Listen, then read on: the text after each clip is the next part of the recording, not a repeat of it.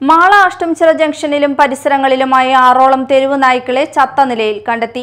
കഴിഞ്ഞ മാസം അഷ്ടംചിറയിൽ വനിതാ ഡോക്ടറെ ആക്രമിച്ചതിനെ തുടർന്ന് വാക്സിനേഷൻ നൽകി ബ്ലോക്ക് പഞ്ചായത്തിന്റെ മൃഗാശുപത്രിയിൽ നിരീക്ഷണത്തിലിരിക്കെ രക്ഷപ്പെട്ടു പോയ തെരുവ് നായ ഉൾപ്പെടെ ആറോളം തെരുവ് നായ്ക്കളെയാണ് ചത്ത നിലയിൽ കണ്ടെത്തിയത്.